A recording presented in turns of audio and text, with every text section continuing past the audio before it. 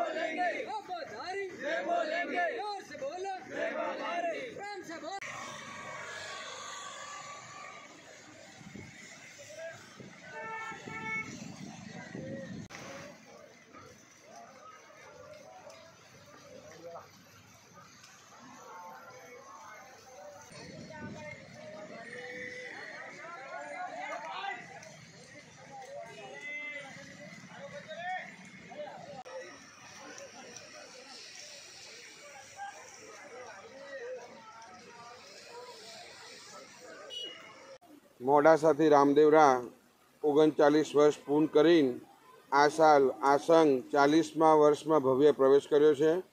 મોડાસાથી સતત system develop થવાથી વરસાદની, એટલા વરસાદ, બાર ઇંચ વરસાદ મોડાસામાં પડ્યો.